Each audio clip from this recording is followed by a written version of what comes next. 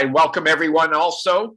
Um, our workshop today will be led by Dave Russell with uh, three other speakers. And before we get started, uh, let me turn things over to John. Thank you, Dave, and uh, good morning, everyone. Good afternoon, good evening, uh, wherever you may be. Uh, welcome to uh, yet another Ivan meeting. I think this is 25 or 26 in our Zoom format, which, not so incidentally, we're uh, quickly approaching uh, two years in uh, using our oh. online monthly and sometimes twice monthly Zoom format. Uh, very, very happy to have uh, everyone uh, here with us today. Uh, as always, a great lineup of uh, uh, speakers, great subject material. I think everyone will find it enjoyable and useful. MR Resources and Q1 Instruments are very, very pleased to Uh, be sponsoring these meetings. In incidentally, I wanted to mention that uh, uh, finally we have our next in-person live meeting scheduled, still a little bit out. Uh, uh, April of uh, 22 in conjunction with ENC in Orlando, Florida. next year. Hope everyone can join us. But anyways, once again, MR and Q1 very happy to uh, be sponsoring these meetings. Uh, MR Resources, of course, been around for uh, G 36 years at this point, and as always, uh, able to uh, willing and able to help you out with your uh, requirements for quench system magnet quench recovery, repairs, service contracts, system moving, and reconditioned NMR spectrometers. And also Q1 Instruments, a bit more of a newcomer. Uh, uh, to the uh, industry. But uh, uh, we've got Don Bouchard uh, with us today, Q1 product manager. And Don, maybe you have a few words to give us on Q1, please. I sure do, John. Q1 designs and manufactures complete NMR spectrometers from 400 to 600 megahertz for both routine use and the research lab. Want to upgrade an older system? Q1 can retrofit AS and UltraShield magnets with complete upgrades, including automation, STM probe for less than you think. Q1 offers excellent performance at an unbeatable price. For example, uh, for Varian users, a Mercury or Mercury Plus system can be verted, converted to a Q1 console, preamplifier, and workstation for as little as 150K. Q1's operating environment is Spin Studio J, which has a plug-in based paradigm for extending virtually any capability, either internal to the spectrometer or external via Java-based tool, extending data acquisition, analysis, and connectivity. The list of tools increases with every release. Here are a few graphical tools that greatly simplify operation. The Smart Tune and Match facility is fast and easy to use. Just select the nucleus and click Start. The automation tools is multi-user with user security and the one in 3D gradient shimming is fast and reliable. Shape pulses extend the repertoire of experiments, and our patented deep learning NUS technology is unparalleled. Want to learn more about Q1? Contact us for a no risk remote demonstration. Thank you very much. Th thank you, Don, and uh, very, very uh, uh, important product lineup, uh, very capable, and uh, Q1, the folks at Q1 are uh, definitely bringing some uh, much needed competition uh, back to the NMR industry. Anyways, back to you, Dave. if you could give us some insight on upcoming meetings and then get things kicked off for us, please. Okay, great. Um, Chris is traveling for today, so he couldn't be here. Uh, but I'll just mention that our next upcoming meeting is on Thursday, November 18th, and the subject will be reaction monitoring uh, by NMR. And uh, and my, I did not um, write down the leader. I apologize for that, uh, but you can see it on the website. And uh, we have a few more meetings coming up. Um, benchtop NMR in January uh, with Paul Boyer, uh, spe uh, spectral fitting for February, and QNMR for March, and then we'll be into our uh, next live meeting uh, at the Orlando ENC. And there, Chris has a few more lined up for. I think he's got it up to May, and so um, so there's a lot coming. Uh, so uh, why don't we get things started? And I will turn the floor over to our um, panel leader, uh, Dave Russell.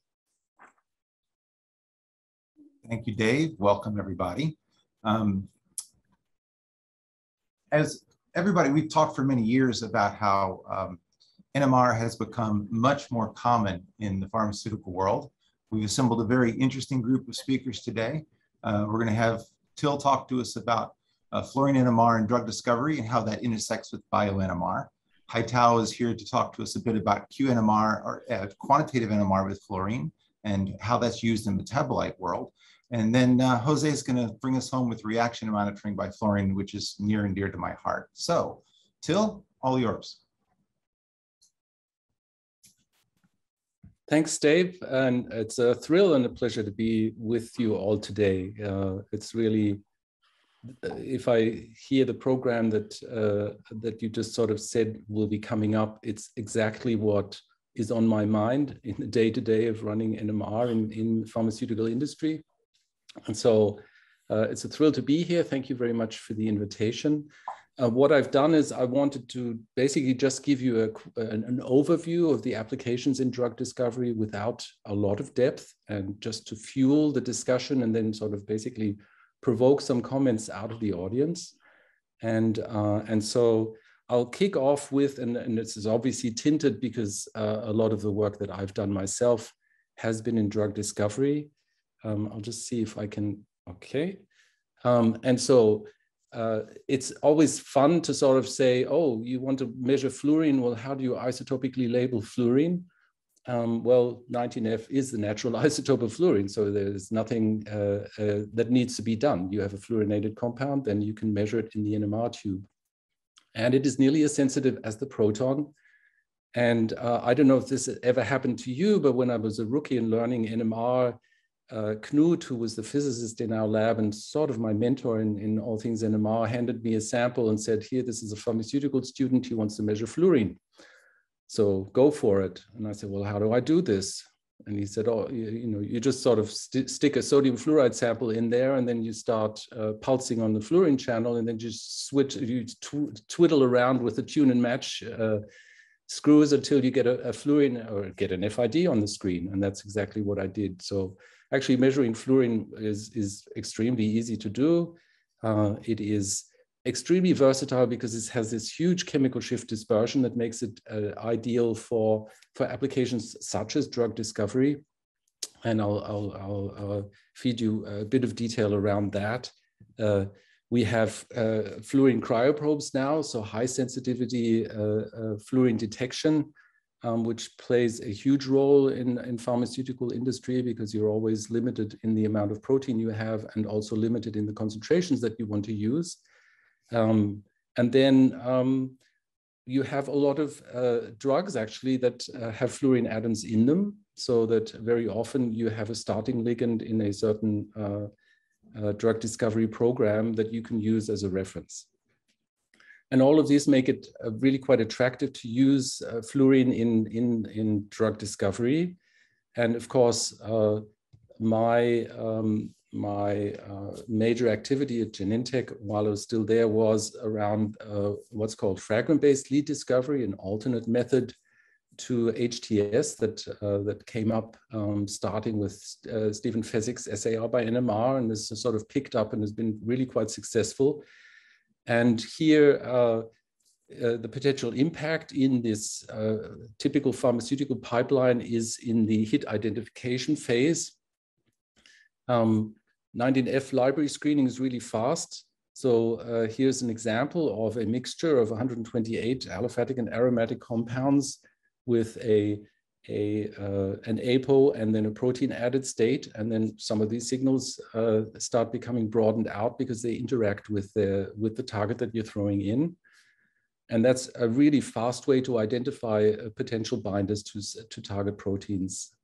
And then, of course, there has to be some follow-up uh, of, of uh, biophysical nature or of biochemical nature, such as SPR or MST or uh, chemical shift perturbations, as you want to prove to your teams that these compounds are actually binding the target, that they have a certain affinity and that they're binding the target in the right place. And so apropos right place, you can also use fluorine in a competition setting and that allows you actually to apply 19F in a much broader context of, of drug discovery in both uh, the, where you're trying to characterize how small molecule ligands are actually engaging the target, but you can use it to hit, uh, identify hits, but also in the phases where your uh, chemists are uh, optimizing their leads and trying to uh, get gains in affinity. And in this case, you you have a competition setting, so you have your protein and ligand together, and then you throw in a competitor, and that competitor kicks out uh, your original ligand.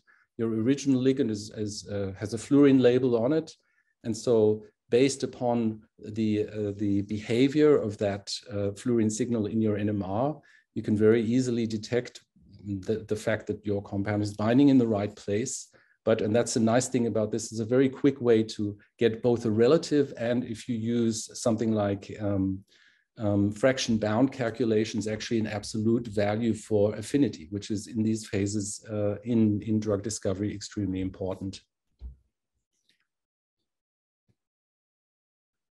You can also use these methods to label proteins um, by either adding fluorinated amino acids into the uh, E. coli production media where you're, you're, expressing the protein or after expression of unlabeled proteins um, by, uh, by chemically modifying these proteins. This is an example for, uh, from antibodies where you have these uh, succinimide groups that uh, readily react with the, with the target protein, labeling it in certain places.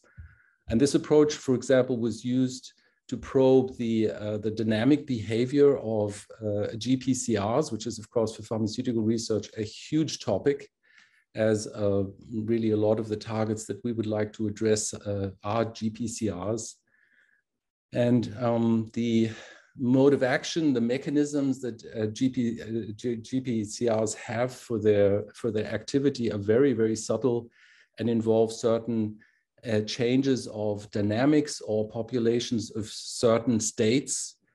And here in this example, fluorine was used to probe exactly those states and uh, get an idea of how certain drugs, and in this case, antagonists and agonists, actually affect the dynamics in certain parts of the protein. And I think this is extremely powerful, uh, very focused approach, and can then help uh, delineate the mechanisms and also, of course, characterize the, the uh, compounds that the chemists are producing in, in drug discovery programs to try to push them in certain directions. Do you really want an agonist? Do you want an agonist that does a, a very specific uh, a dynamic change uh, in comparison to, say, a, a, different molecule that might be a mixed uh, binding mode, etc. Then I would point out, I've done some studies here uh, using solid state 19F. Um, I think is also quite powerful. Uh, pharmaceutical uh, industry uses solid state NMR very uh, a lot to characterize the morphological state of their drug products. And here we have an example where in black you see multiple amorphous states overlaid and uh, two different crystalline states. Now you can use this in principle just as a fingerprint to make sure that the API that you're producing has the correct crystal form um, because this is extremely important for, for, for basically everything uh, starting from dissolution of those compounds in, in your stomach. And so you can use this as a fingerprint to make sure you have the right form Sometimes, though, there's also a question about what is the, the, the, the structure of this molecule in the crystal lattice, and uh, solid state can, I think, inform very nicely uh, on that as well. And then finally, I did want to sort of touch on uh, uh use of 19F in imaging, um, because I always thought, why do we not do this more? Um, I think this is slowly developing with the, with the availability of certain uh, compounds, but also the improvements in the imaging uh, and the sensitivities of the imaging devices themselves. This is often really quite uh, quite simple in terms of the chemistry used. For example, this is simply a, a dosing of a, um, um, a perfluorohydrocarbon here um, before treatment. And then uh, this is uh, the induction of an infarction in a, a, rat heart. And you can sort of see the fluorine accumulates in certain um, immune cells. And these immune cells then go to the place where the inflammation is taking place. And you can very nicely overlay now proton and fluorine images to get an idea of what is happening. And then finally, I'll just quickly touch on the use of uh, fluorinated gases in the imaging of lungs, which uh, is also um, um, something that, uh, that, that is um, uh, important. Uh, and it's not necessarily drug discovery, but it is the latter phases of then um, as the drug uh, goes to market, and these studies can be very important. So I'd like to finish off with my favorite anecdote around 19F. I, uh, I received a compound from my favorite chemist uh, that said, oh, this, this happens to have a fluorine and I want to know what the affinity is. I uh, dissolved the compound in, in uh, aqueous buffer and actually had two fluorine signals. And um, and then I titrated in the protein. It was interesting because one of the signals disappeared, whereas the other remained until uh, I'd over titrated. Uh, and when I reached a one to one ratio, both of the signals had disappeared. And this was really sort of a, a revelation of how sensitive actually fluorine is to structural, uh, uh, uh to conformational changes. What had happened, in fact, was we had uh, two rotamers so it's the same molecule, but they were trapped in, in two different conformations. And the interesting piece about this, and I found so fascinating, is that actually one of them had higher binding affinity to the, to the target uh, than the other one. So I think uh, from my experience, fluorine uh, has a, a, a, bright and big future in pharmaceutical research overall. And um, with that, I will hand back to, uh, uh to Dave and um, and look forward to the discussion after the presentations. Thank you, Till. That was excellent. A very nice overview of something we don't see a lot of in Ivan, which is some of the bioNMR applications. I like that very much. Thank you. Next up is Haitao. Haitao? Yes. So first of all, um, thanks to uh, David Russell and the other organizers for inviting me to uh, speak at the Ivan workshop. So I'm gonna today I'm going to talk about how we use fluorine, uh, in drug disposition at Eli Lilly. Um, so depending on the stage of the program, the drug discovery program, uh, in drug disposition, we're concerned with different questions.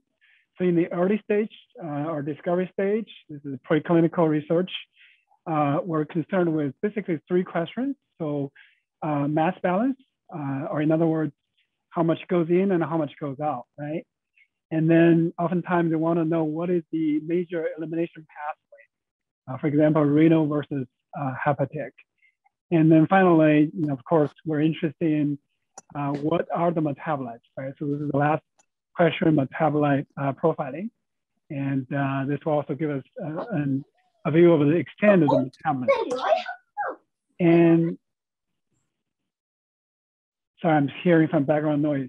Um, and then in development, we're uh, concerned with slightly different questions. So first of all, you know, we're, we're working with human metabolites now, right? So we're, we want to know what is the human metabolite coverage, and then what is the um, metabolite, a metabolism-based drug interaction. So in other words, uh, we want to be able to quantitate circulating metabolites. And then of course, in early de uh, development, we're also interested in uh, mass balance.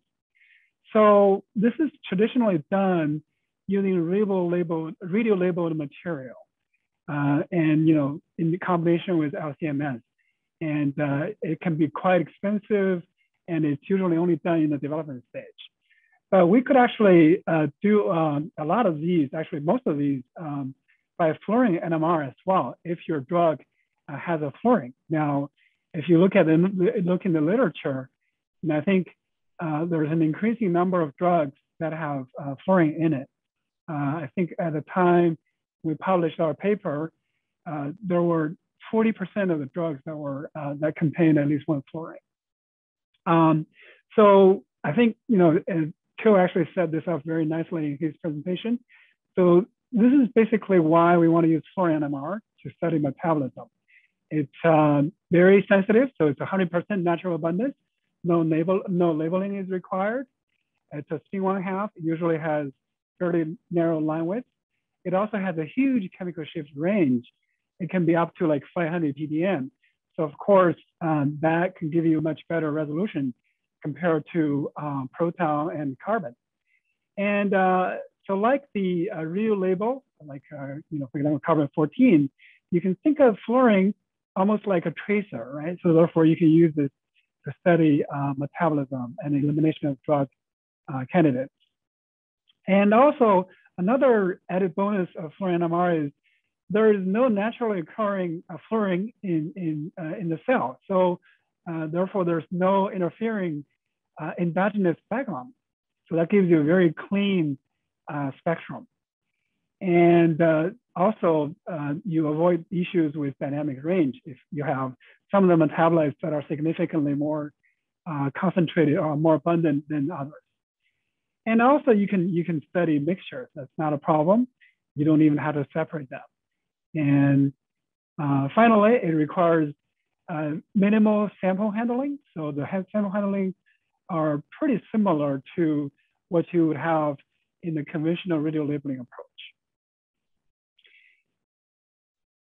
So this slide here, I just want to show you one example. So this is um, basically the top panel is the uh, proton spectrum of a rat urine. You can see that it's very, very uh, com complex. Uh, here, some of the major uh, metabolites are, are identified. And then if you look at the bottom, so this is actually a urine from uh, treated rat rats this is the F, uh, F19 NMR spectrum. And you can see this is a compound. It has an aromatic fluorine. And you can actually see the spectrum is very, very simple. You see uh, the parent compound as well as some of the major metabolites. And you can actually even see some of the minor metabolites. Uh, you know, it's, it's completely free of any background signal. So, um, you know, we actually use pefloxacin to uh, as a case study to validate our method. And here you can see this is basically a head-to-head -head comparison with the uh, conventional radio labeling. You can see here we're interested in uh, studying the exposure and also uh, the mass balance and so forth. And so these are some of the matrices that we collected.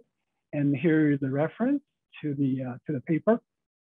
This was published back in 2015. And uh, so this is quantitative um, NMR basically. And you can see that, uh, so basically we can make up um, standards in different matrices. So here are the four examples, uh, plasma, urine, bile, and theses. And here the, um, the, chemical, the uh, concentration ranges from zero to in this case, 30 micromolar or you know 300 micromolar.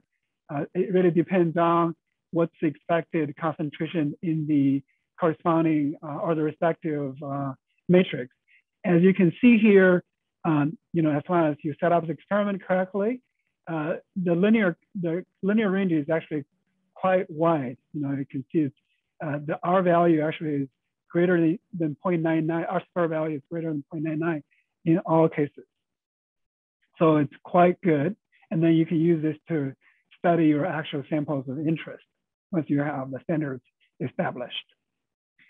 Uh, so here is uh, just one example comparing um, fluorine NMR versus radio labeling.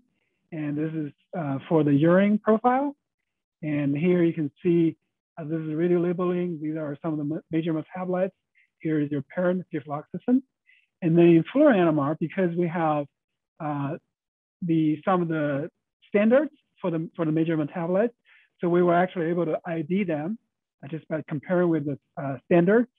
And you can see we were actually able to identify uh, at least four major metabolites here.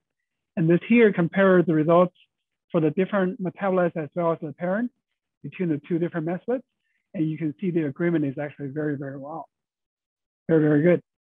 Um, so finally, I just want to talk a little bit about uh, metabolite ID. And sorry, I don't know how to make this go away. But anyways, so this is uh, something that I did a long time ago when I first joined Lilly, not very long after I joined Lilly. So we wanted to basically use FluorNMR um, to study mixtures of metabolites. So we created this kind of artificial system. This is, uh, you can see that, uh, uh, that that's dexamethasone. And so we have these uh, four metabolites, two, three, four, five. And you can see this is uh, either uh, with a chloral here, so this is X with a chloral or hydroxyl at the Y position, uh, or we can have both uh, the four or five positions uh, chlorinated, or we can have a acyl group and then a chloral at the Y position. So we have basically a mixture of these four different metabolites, and you can see in FluorNMR, we can actually identify all of them. And so this is a pulse sequence. This is actually a 3D pulse sequence. It's a proton, fluorine, uh, heteronuclear TOCSY, and then uh, carbon HSQC experiment.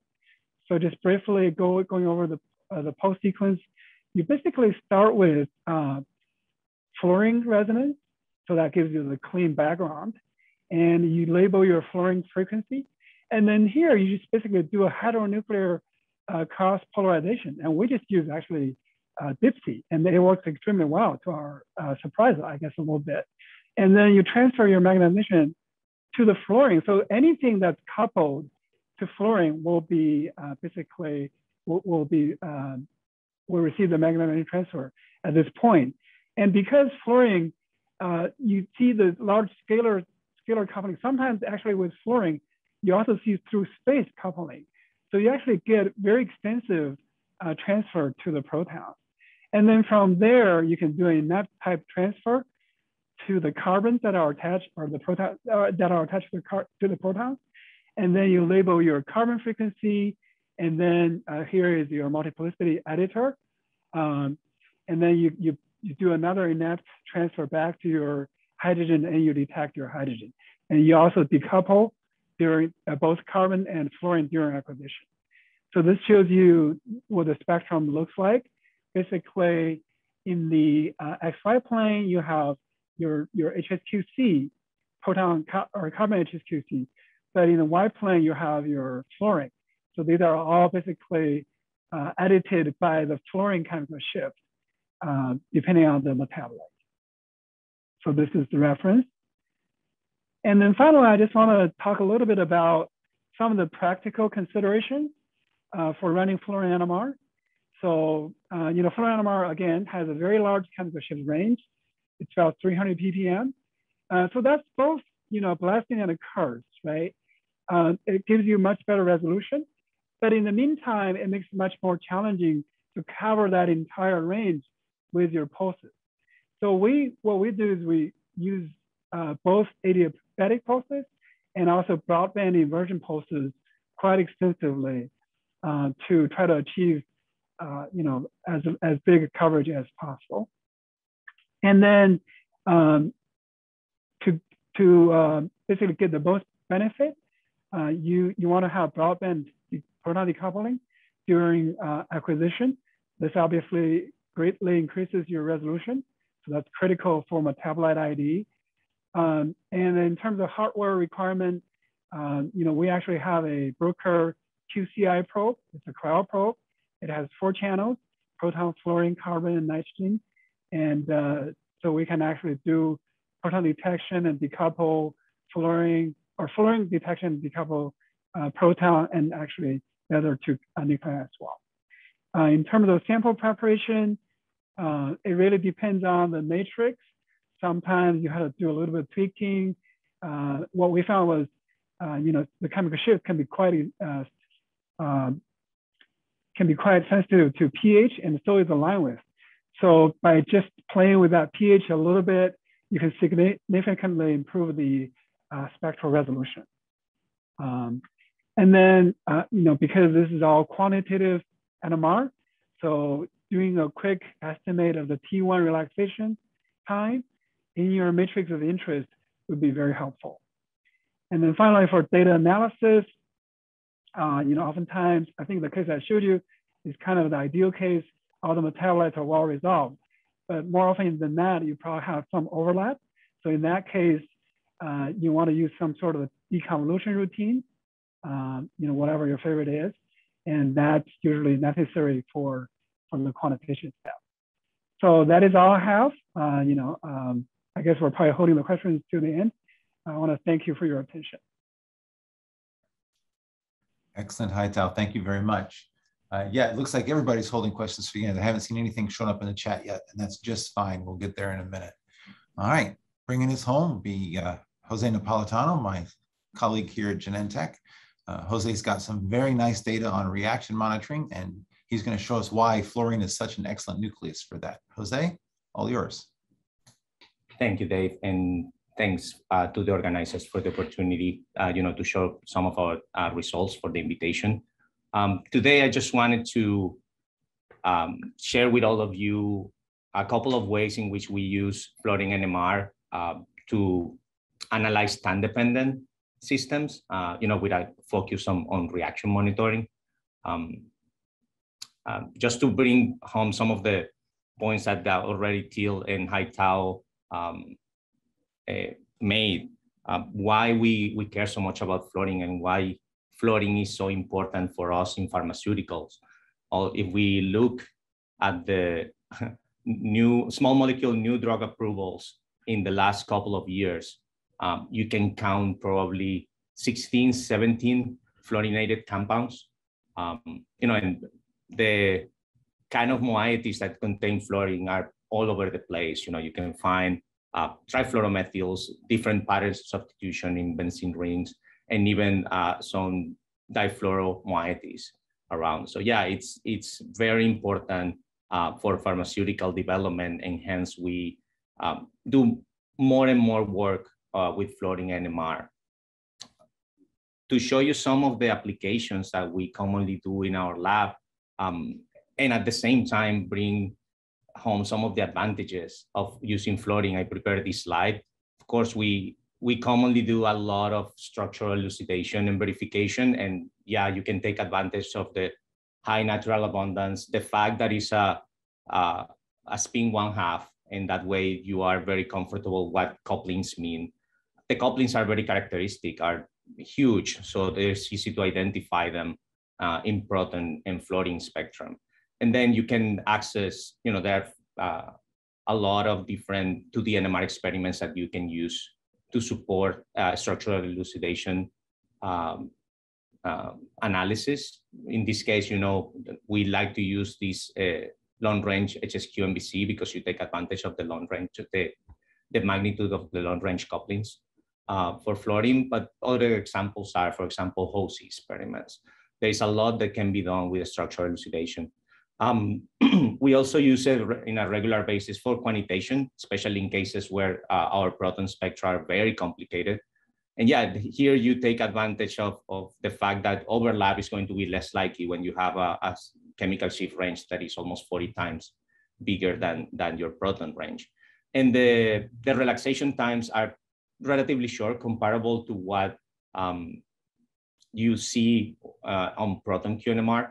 So I will say that of, of other flavors of quantitative NMR with different nuclei, probably fluorine is the one that, that resembles more uh, how we commonly do proton uh, NMR. Of course, you have to take into account some of the caveats that Haitao already mentioned. So if you if you combine these two aspects of fluorine NMR, uh, the structure verification part and the quantitative component of it, you can really tell why we like to use fluorine for reaction monitoring. You know, it's great sensitivity. The signal dispersion is good. Um, is very sensitive to small changes in local environment. So you'll see that structurally related compounds might overlap on the proton, but you usually see enough separation on the fluorine to be able to um, see these compounds clearly. And obviously, you know, you don't have to deal with any solvent interference. So we can run uh, more of our reactions pretty much mimicking the uh, reactions conditions given by our chemists using fluorine NMR. So as a, as a first example, just wanted to show a fluorination reaction, what I think, I, I think makes sense for a fluorine NMR experiment. This is part of a collaboration with uh, Tristan and Jason in Vancouver.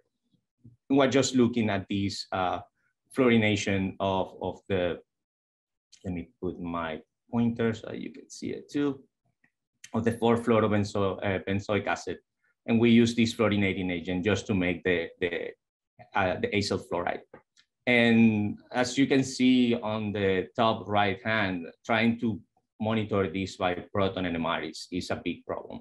Um, you have multiple species that are formed and all the peaks are pretty much in a one and a half ppm window.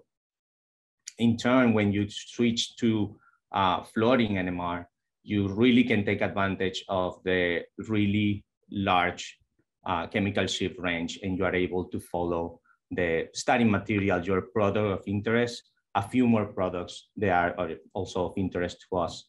And in this particular case, we can also keep an eye on the fluorinating agent that doesn't have any signals that we can follow on the, on the proton NMR.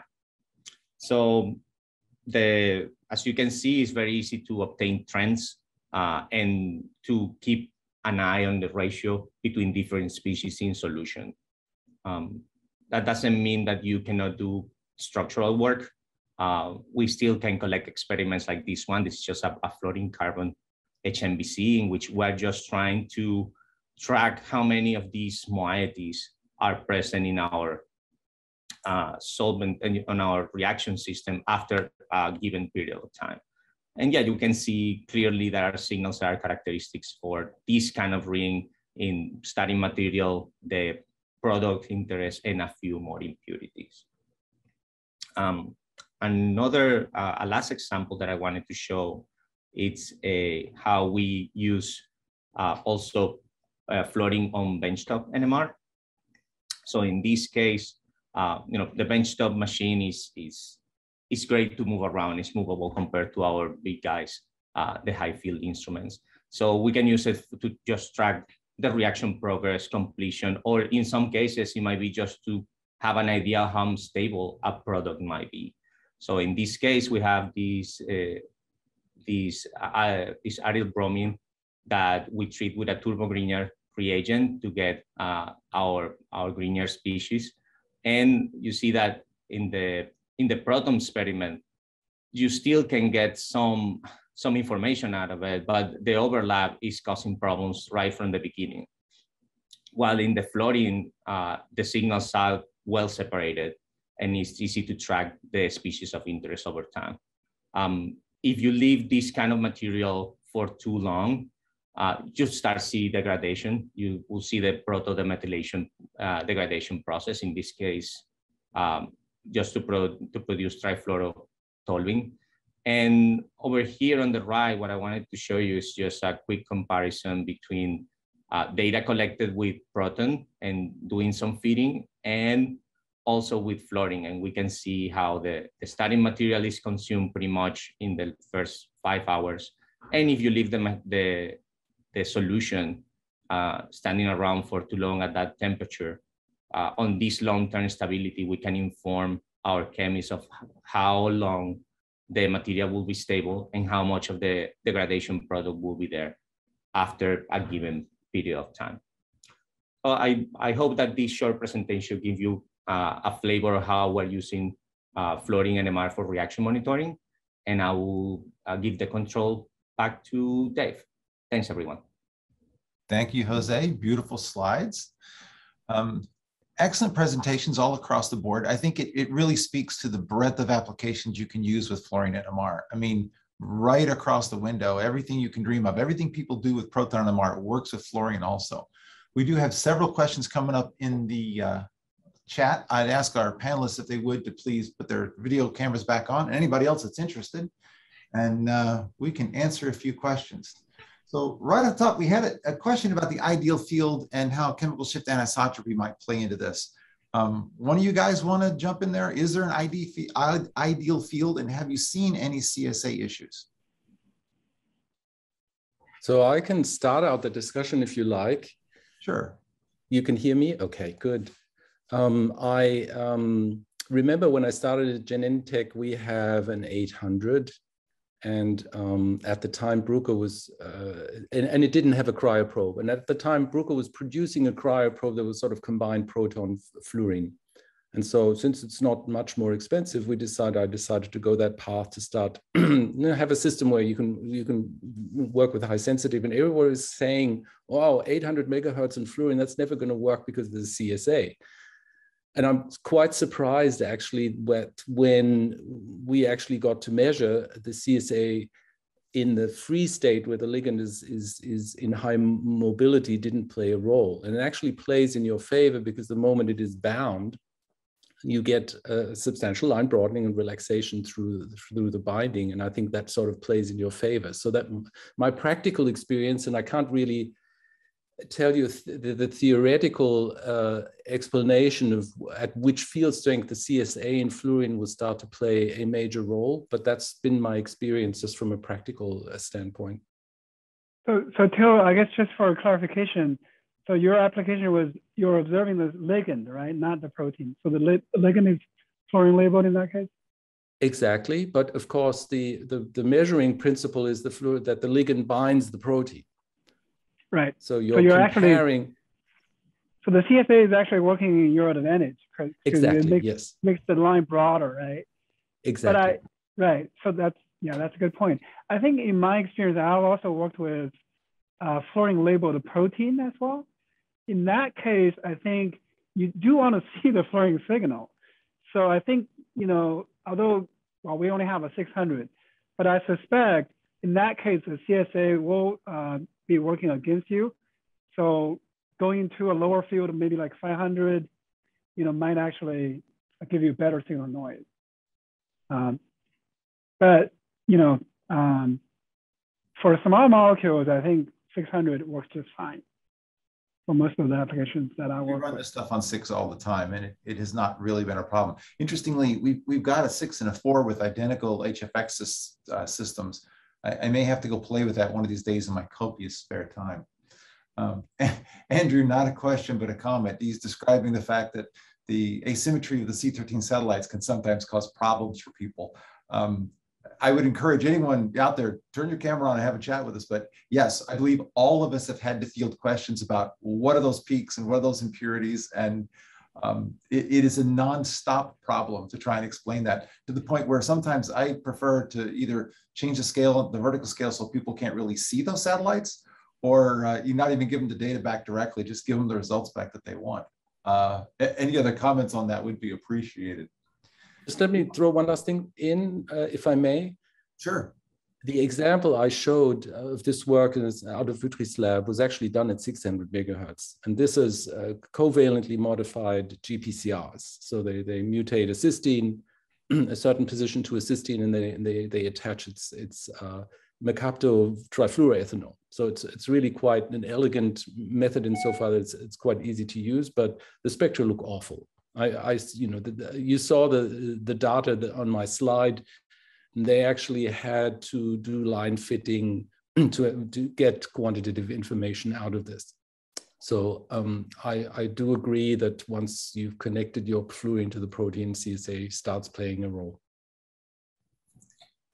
Um, just one, just one comment on the isotope pattern for carbon 13. You know, if you if you want to convince your chemist, you can also show them uh, tetrafluoroborate salt, that you are going to have the peaks from fluorine to um, boron 11 and boron 10. And those are 80-20. So, you know, that actually makes a good point for the chemist to understand that there are different species there or, you know, different isotopic patterns. It, as I say, it is an ongoing discussion. Um, I never thought about using the boron isotopes to do that though. We have several questions. Ralph, if you're with us, please turn your camera on and talk to us about excitation bandwidth and quantitative NMR and how you get excitation where you need. So just to make sure we're all on the same page, there are two different things here. One would be inversion bandwidth, which is important to be doing you know, a 2D type experiment, most likely. The other is excitation bandwidth, particularly in the quantitative world. Ralph, talk to us, buddy. Hi, Dave. Good to see you. Sorry, I just had to go close the door because my children are shouting. Um, Oh, I thought I thought someone. There you go. it's, bed, it's bedtime here. Um, yeah, so I was, um, I just thought I'd put a comment in about the, um, about the the quantitative nature of um, of fluorine. So a few a few um, couple few years ago, we did these experiments with this chorus uh, method, which is uh, three three broadband chirps, um, which are quite nicely lined up together, and they give you. Um, I think we got. I think we got about 300 kilohertz um, of of uniform excitation from those, um, and that's been developed quite a bit further by Muhammad Ali Foroozandeh in uh, in Oxford.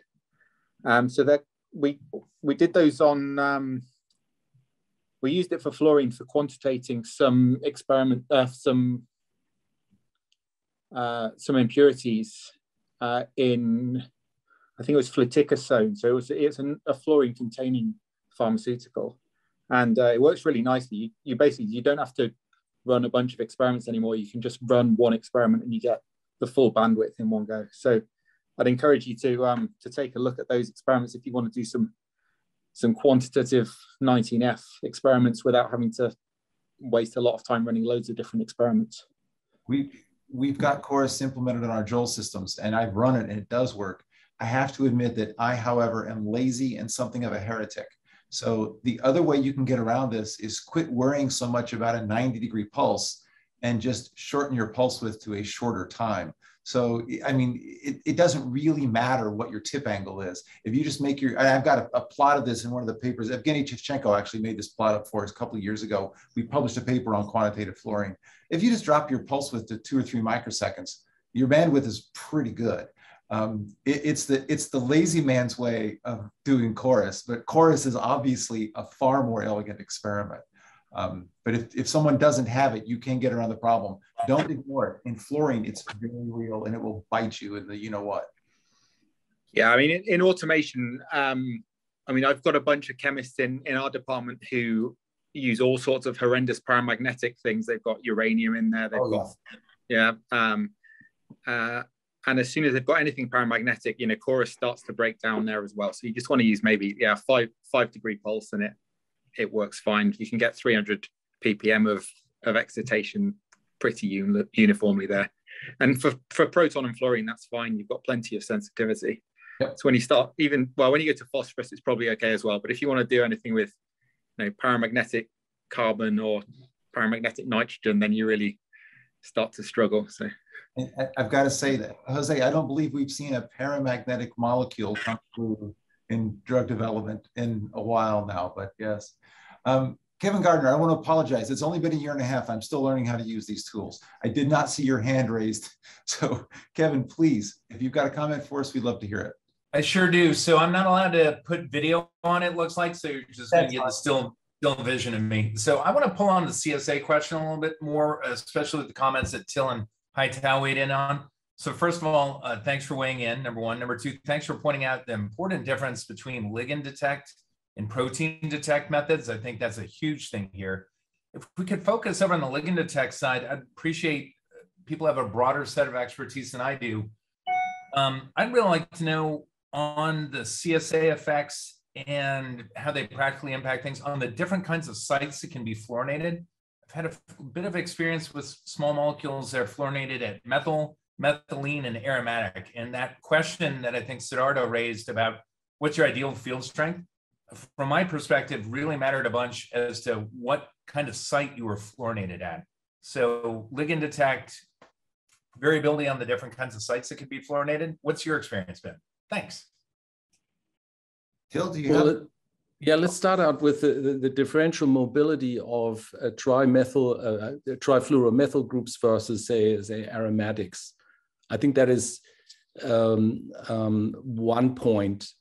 And then, of course, the, the anecdote I told speaks to the overall dynamics within molecules, which, um, because of the uh, huge uh, spectral width of fluorine and the high sensitivity toward very subtle changes in the chemical environment, tell you something about uh, about mobility in molecules. And I've not done the uh, the analysis to see whether the mobility is simply a function of is it aromatic or aliphatic, or I think it's a function of where it sits in the molecule and the, the lo localized dynamics that are happening uh, at that site. So that's sort of my my take on that.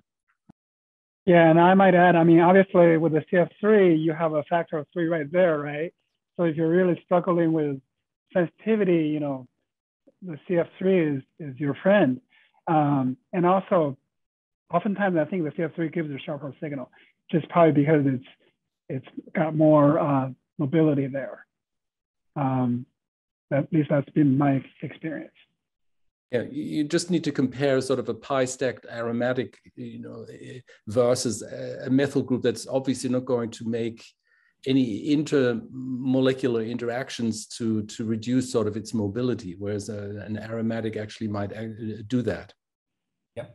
All right. Thank you both for your comments. Oh, sure. I, I, did just a little bit of metabolite work with the folks here on campus, and uh, I definitely saw a, a larger than I expected benefit from using the CF3s. I never thought about it at the time, but it, it might very well have been a little bit of CSA that I had not considered. But there was no question that the trifluoromethyl groups were even more than three times more sensitive than some of the aromatic fluorines were also in the same molecule. All you really could see were the trimethyls, no matter how much you ran up to your uh, chemical, your uh, signal to noise. And it's an interesting thought. It's something I had not considered, and it's something I will be thinking about next time. Um, yeah, I, I, was just, can I just add one more point to that? Uh, you know, I would say, however, working with metabolites, uh, we did, you know, this is more anecdotal. You know, I think CF3 oftentimes uh, the shift change is smaller, so you have more overlap issues with your metabolite. Whereas if you have an aromatic CF, the resolution is usually much greater um, just because it's more sensitive, right? It's, it's experienced a bigger change in the environment. So yeah, I guess it's a balance between sensitivity and resolution. Yep. All right. I don't see anything else coming up in the chat. Anybody got any other Oh, then let me let me throw in another thing in. I'm sorry, I'm, I'm oh, being too talkative here, so you can tell me to shut up at any time. You know that. You know but, that. Um, yeah, go ahead.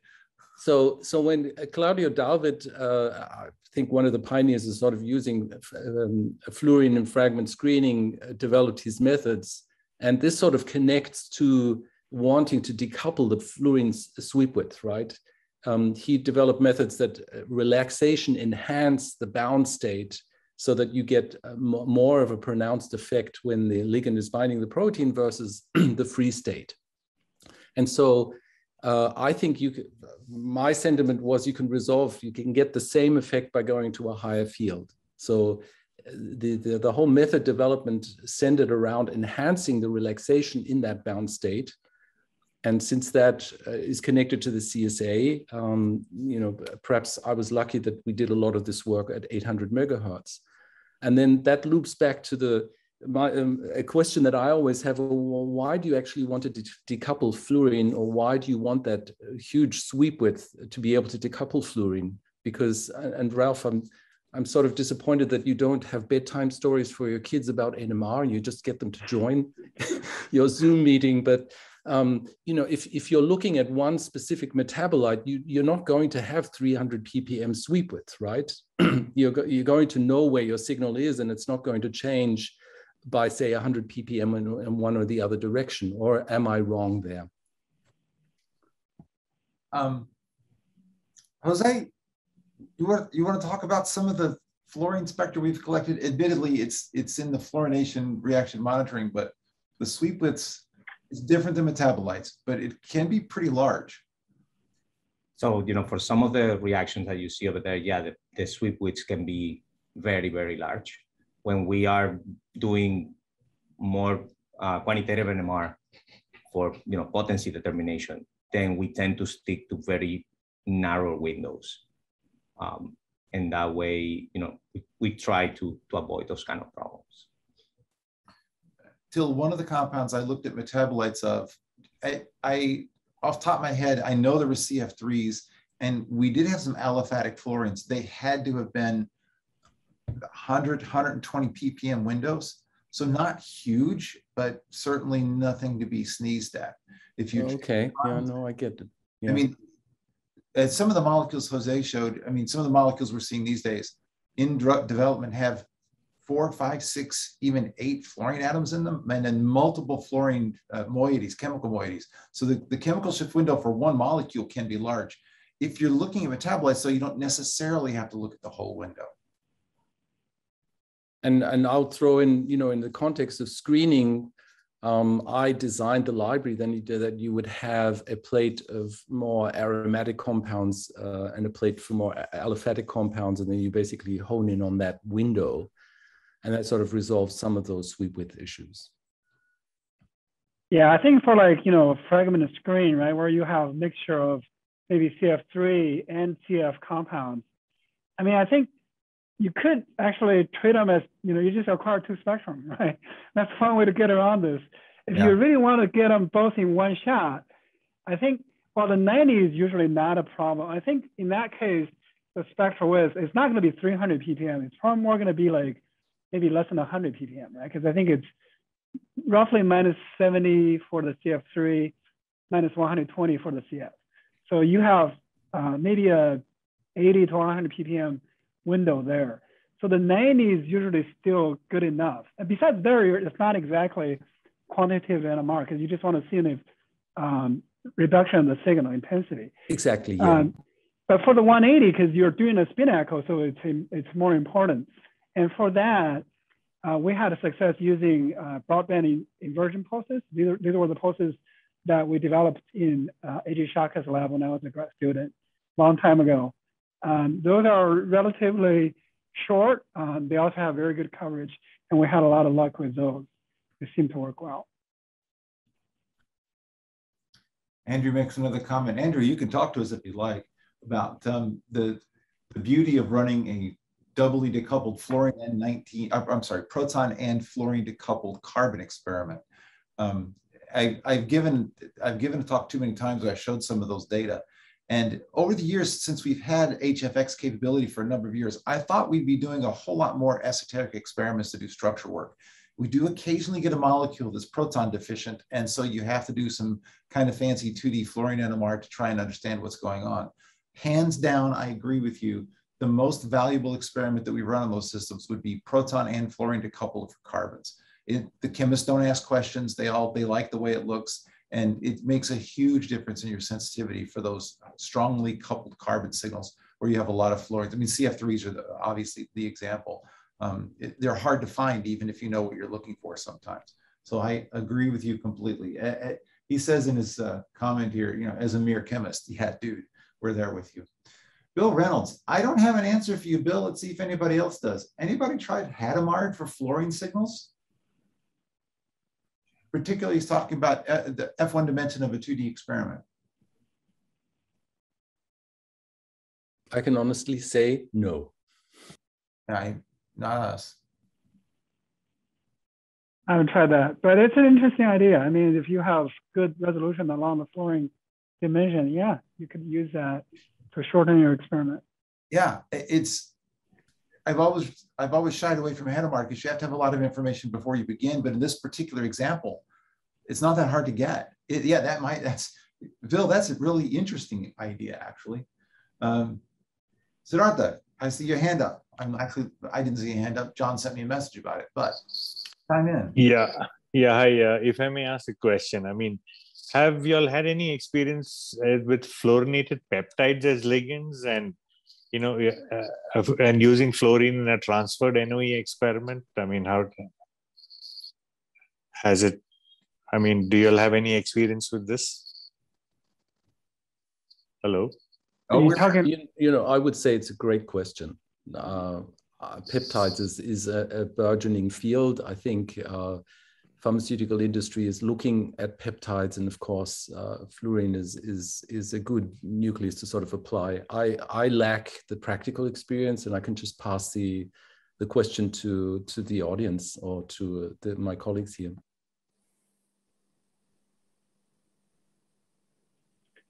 Anybody tried this? I guess it's a question about can you do transfer NOE or this would be heteronuclear NOE, right? HOESY, basically, HF HOESY. Was that the question? Yes. Yeah, yeah. What we we do run HOESYs once in a while. We've had some experience with those.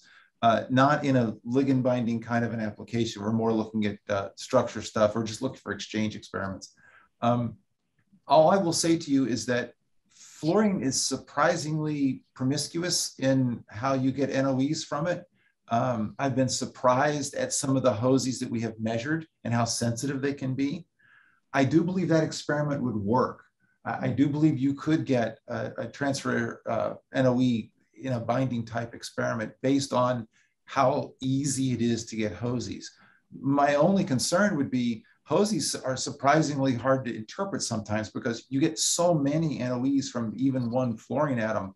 It can be a little bit challenging to decide. It, you, it, there can be some spectral crowding, particularly in the proton window. Um, it's a very interesting idea. It's an excellent question. Uh, just or, like, or even if you have a remote um, just as a follow-up if you have two remote fluorines on a peptide you know and then look at a transferred noe for binding um, kind of like the early experiments that Clore and all did with peptides Marius Clore you know the, the original transferred noe experiments but just using fluorine as labels readout labels so, so I would ask then, you're asking basically what's the conformation of your peptide in the balance Yes, state? yes, yeah. yes, yeah, yes, okay. yeah. I mean, so then actually it would be a, it would be a fluorine fluorine homonuclear. Yeah, you know? yeah. Okay. Yeah, oh. yeah. I mean, is there any advantage or you know? Uh, Jose, have we ever run that experiment? I don't think we've ever collected one of those data sets. No, we haven't. Yeah, American fluorine homonuclear fluorine NOE. Given some of the molecules we see, it would work. I mean, we've got enough fluorines in there, you could definitely get information. so, uh, thank you all very much. Yeah.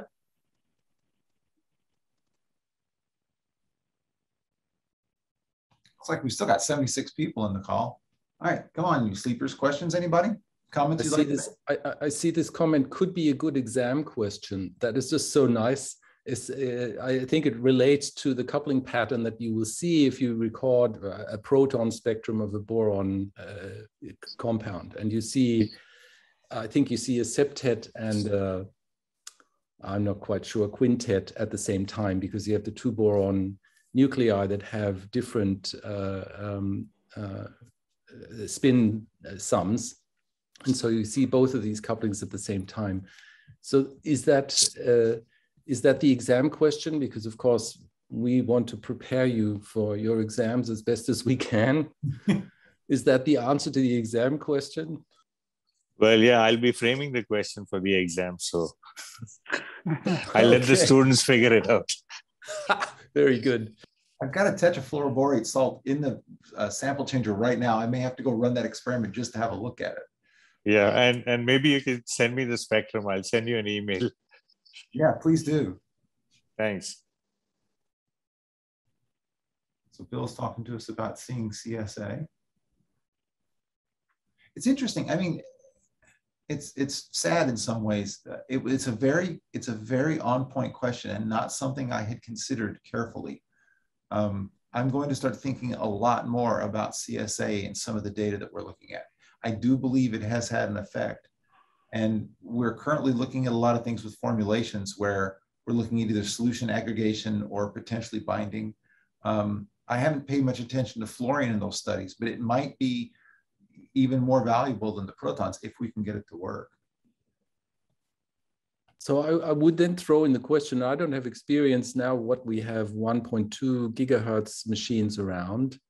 I know there is a big discussion around the CSA for the carbonyl in the peptide backbone and all the protein-based methods, and that you will be running into difficulties because your your carbonyl, which is sort of one of the most sensitive 3Ds, right? The HNCO or whatever, that the CSA would start playing a role. And I tried to compare the intensities between six and 800 megahertz and really didn't see an effect. I wonder, is there anybody that has compared, say, a 600 to a 1200 spectrum, say an HNCO, whether there, there, there is something you can, you can pick up there and that the CSA actually does uh, play a role here at higher field strengths?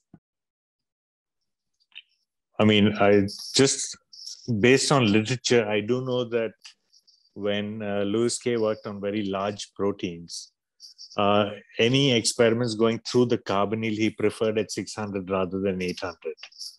So HNCOCA, HNCO, HNCOCACB, especially for the malate synthase G, which is around 80 kilodaltons. Uh, he would, I think in the paper, he does mention that there are significant sensitivity uh, losses in those experiments. So he prefers to, he preferred to do it at 600 for those very large proteins because of the CSA uh, carbonyl. Yeah, thank you very much. Yeah. Yeah. Good point. Hey, Till, you want to talk to uh, Martin's question about uh, NOE crossings and zeros? I think you probably Um, on that than I do. I guess it was a, okay. About question about HOESY, right? Yeah, I guess it would probably be just like the homonuclear uh, NOE. It'll depend on you know the size of the molecule, basically where it crosses the zero. Um, yeah, I've never done that for for a protein. It'd be interesting to see if it's the sign is inverted in the in the protein, like what you see with proton. We've had at least three doctoral theses pop up on our chat since we started this. That is not something, again, something I never considered. I've certainly never measured it. Um, but yeah, I, I, I think, I think that could be exactly the same concern. Um, if somebody else out there has a much more ex expert opinion on it, I'd love to hear from you. It'd be straightforward to test, really. Dave, I think isn't it useful to think about in a normal homonuclear NOE, you've got one signal which you see which is pretty big and pointing down, for example, and then you have the other signals which are either have the same sign or the opposite sign. But if you're doing a HOESY, then you're inverting a signal which isn't actually appearing in your spectrum. So um, there's there's that consideration, which I think so you can't you can't actually see whether it's the same sign as the signal you're inverting or not. Um, that doesn't mean that there's not the zero crossing still, right? So you could still have signals that are up or down, but you can't tell if, um, yeah, if it's if it's got the same sign as the signal you're inverting or The not. I don't think. experiment that we're running, I, I just, I want to say is absolute intensity. Um, it's correct. I, I don't, I don't believe it's space density. That doesn't necessarily mean there isn't a zero crossing problem if we had been unlucky with our correlation times. I know. I think yeah. I think there is a zero crossing problem if you're if you're unlucky. Yeah. Yeah, I, I think so too. I, Yeah, definitely. Yeah. Yeah. having dealt mostly with molecules that are small enough, I didn't have to worry about it. I didn't worry about it, but uh, it- it's it is an interesting prob- problem. Tim I just- there's just think whether can you use the ROESY to get around that make this a bit more tricky. I guess you have to use um, two lots of uh, spin locks at the same time. But But that is a question that came to my mind as well. Is there actually a ROESY for 19F? The first question would be a homonuclear 19F ROESY and then the heteronuclear one. I'm sure someone's done that. Sounds like a hell of a spin lock to me.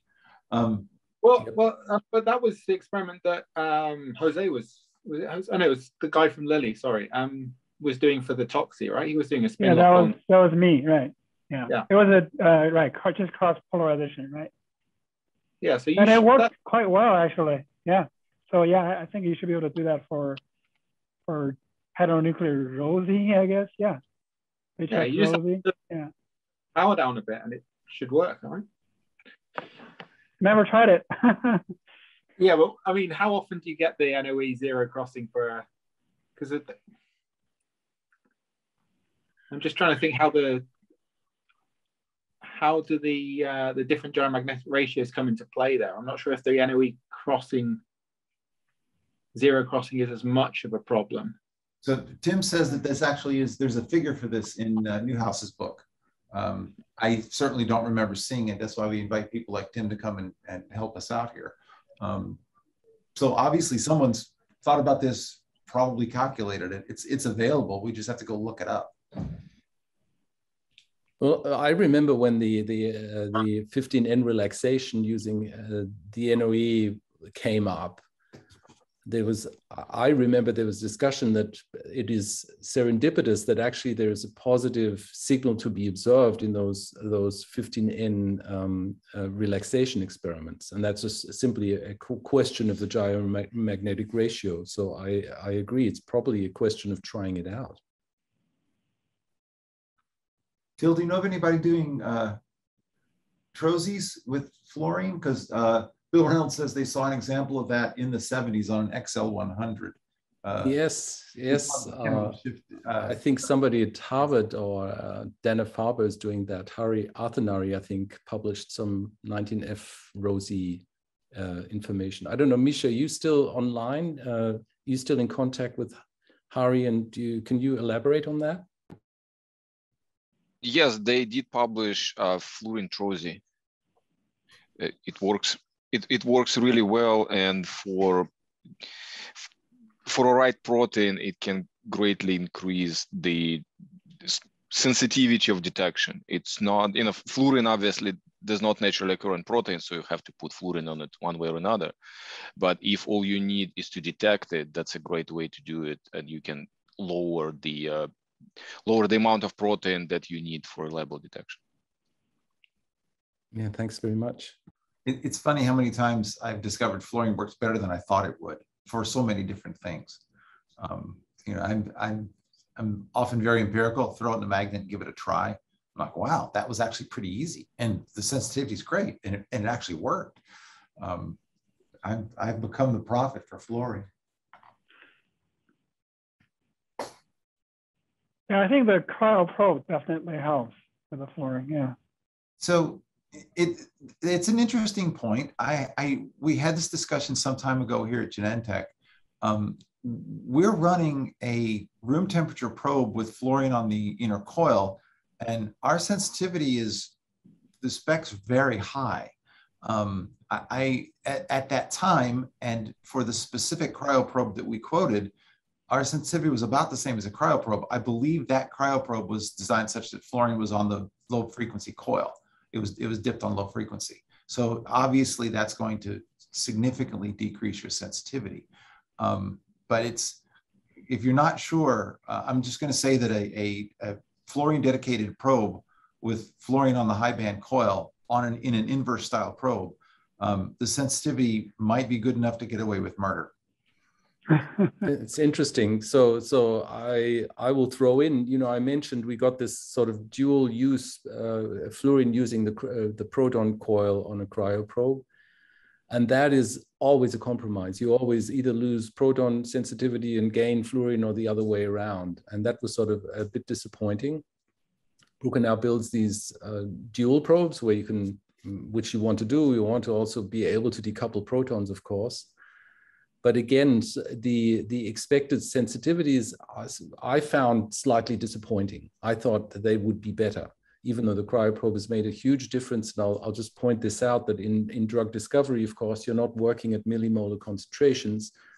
Uh, you have the problem if you want ligand interacting with a protein and that ligand is, is 500 micromolar, then you're going to get interaction because the sheer concentration of that ligand is going to push it to some unspecific interaction with that protein. So you're going for the lowest concentration you can do. As, as the example I showed was a 20 micromolar ligand, 10 micromolar protein. That's sort of the size of it. Actually, it would even be better if you could go, you know, one micromolar protein and, and five micromolar ligand, or even in the nanomolar area, where typically an HTS will run. So that sensitivity that you get with the cryoprobe is was really quite important for, for the work I was doing.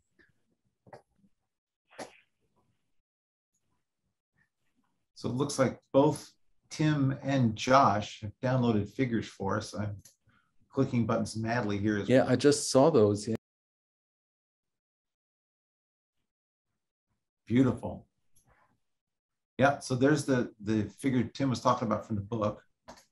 Can you share that? Uh, or I can try to share. it? Well, Or it Tim- actually has exactly the answer. The, there is uh, uh, around one, a tau C of one, uh, you have a zero crossing for fluorine.